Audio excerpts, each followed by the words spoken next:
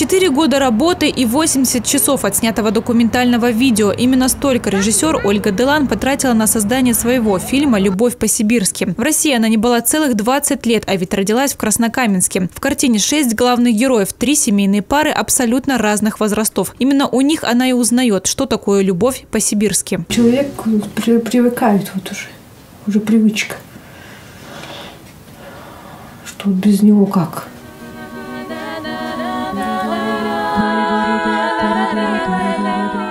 Если Любка в душу запала мне, ну что я начал бы выбирать, э, э, смотреть на ее качество? Нет, конечно.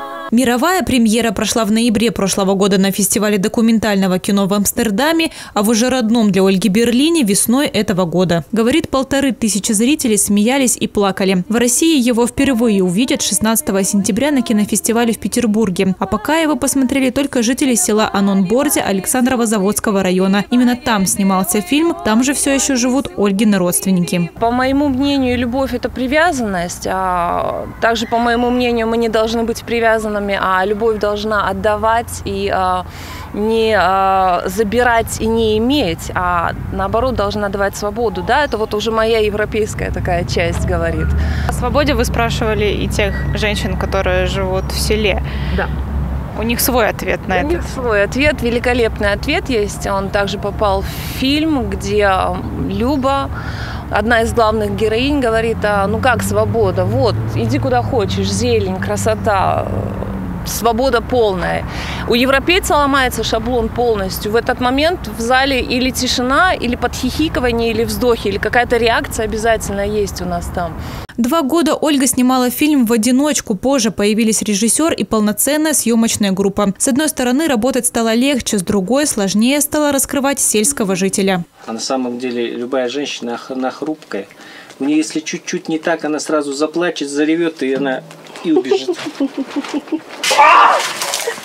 Бюджет фильма 150 тысяч евро. По российским меркам большой, по европейским средним. Расходы окупились наполовину. Осенью картина выйдет на большой экран. Правда, для немецкого зрителя. Какое-то счастье, когда нету семьи и детей. А как же? Ты, ты же не будешь старой девой.